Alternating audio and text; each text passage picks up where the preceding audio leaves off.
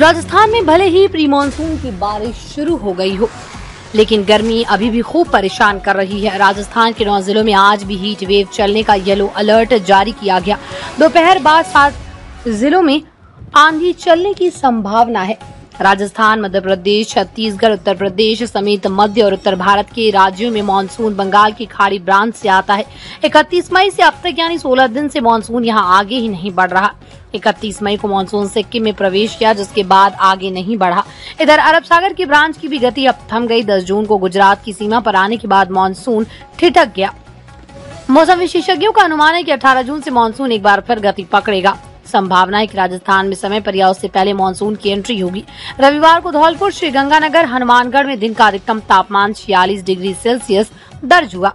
भरतपुर बीकानेर, हनुमानगढ़, चुरू, अलवर और उनके आसपास के एरिया में दिन भर हीट वेव चली। मौसम विज्ञान केंद्र जयपुर ने आज भी हालात ऐसे ही बने रहे, ने के संकेत दिए हैं।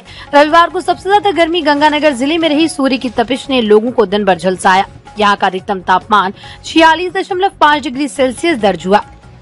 हनुमानगढ़ और धौलपुर में भी कल दिन का अधिकतम तापमान छियालीस दशमलव एक डिग्री सेल्सियस दर्ज हुआ। अलवर, चुरू, हनुमानगढ़, भरतपुर, धौलपुर, दौसा के एरिया में दिन में हीट वेव चली। जयपुर, अजमेर, टोंक, भीलवाड़ा समेत उदयपुर, कोटा, संभाग के जिलों में दिन भर उमस भरी गर्मी रही। कोटा, सीकर, जोधपुर, जैसलमेर, जयपुर, चित्तौड़गढ़ और बाड़मेर में कल दिन का अधिकतम तापमान बयालीस से तिरालीस डिग्री सेल्सियस दर्ज हुआ।